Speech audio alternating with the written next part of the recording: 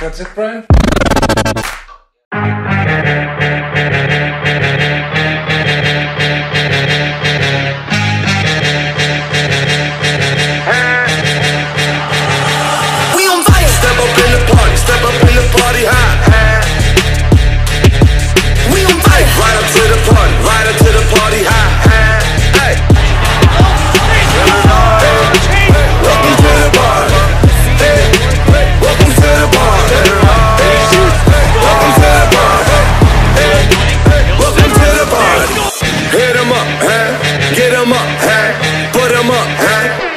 up high, high with my dogs riding high when we pull up.